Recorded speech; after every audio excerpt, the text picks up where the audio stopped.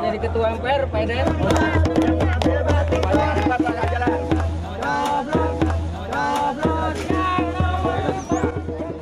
Ciptakan Jakarta berbudaya. Pembangunan kota kerap menafikan nilai-nilai atau budaya yang menjadi kekayaan warga setempat. Hanya demi kepentingan komersialisme, sejumlah cagar budaya mesti dikorbankan. Suasana seperti ini bagi calon Gubernur Hidayat Nur Wahid sungguh memprihatinkan. Ekspresi keprihatinan ini disampaikannya saat berkampanye di bilangan Kota Tua Jakarta. Pada kesempatan tersebut, calon gubernur Jakarta nomor 4 ini berkesempatan berdialog dengan masyarakat.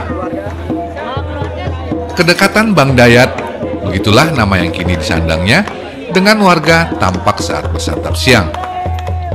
Dilanjutkan dengan menggoes sepeda ontel berkeliling halaman Taman Fatahillah, sembari menyapa warga dan mengunjungi Museum Fatahillah.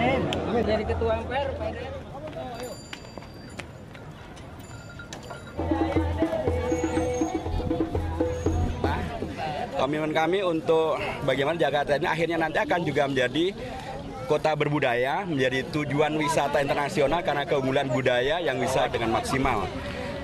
Hidayat berharap terciptanya Jakarta yang berbudaya, maka Jakarta menjadi kota modern yang manusiawi, sekaligus menciptakan lapangan kerja yang lebih besar. Kalau museum kita bisa maksimal, kemudian hutan kota kita juga baik, kemudian ragunan tempat rekreasi warga juga dengan baik bisa dilakukan. Itu dengan sendirinya akan menghadirkan lapangan pekerjaan karena akan banyak eh, turis yang datang, akan banyak lapangan pekerjaan yang terbuka, akan terbuka lapangan kerja informal, apakah mereka menjadi guide, apakah mereka menjadi eh, pedagang, apakah mereka pembuat Perhatian Hidayat Nur Wahid terhadap nilai-nilai warisan budaya juga tampak saat dirinya mewakafkan batik Jakarta beberapa waktu lalu.